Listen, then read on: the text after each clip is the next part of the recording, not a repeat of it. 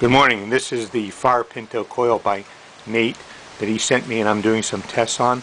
And so we'll fire this uh, thing up here and get it going. And um, it has several windings on it, as you can see.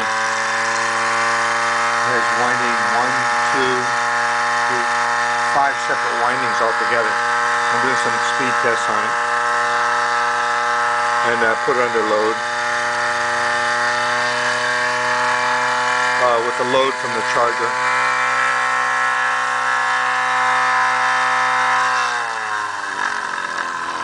Uh, it used about 7 watts under the current configuration. I have several of the windings in series.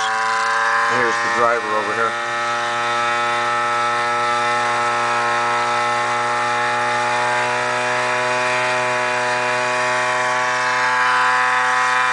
And uh, thanks much for Nate sending us on here. I want to do a lot of testing on this guy.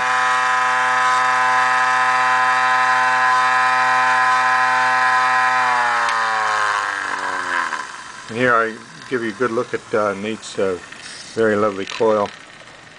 Here is uh, Nate's multi-layer coil. Very nice looking coil.